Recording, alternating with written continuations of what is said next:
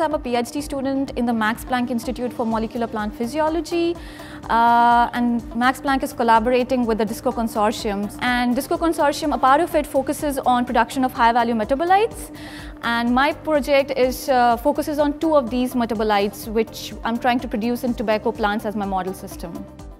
When I started working on the project, I came across this protocol which was important for my project and I was having a lot of problems in it.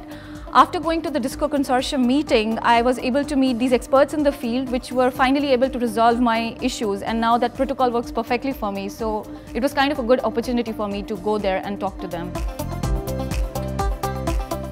I love to visit different countries and uh, disco meetings are always in interesting places. Once it was in Romania and the other was in Brussels, which I always wanted to visit. So it was kind of a nice opportunity for me to go to those places to present my results and at the same time enjoy my time, relax and talk to a lot of people around.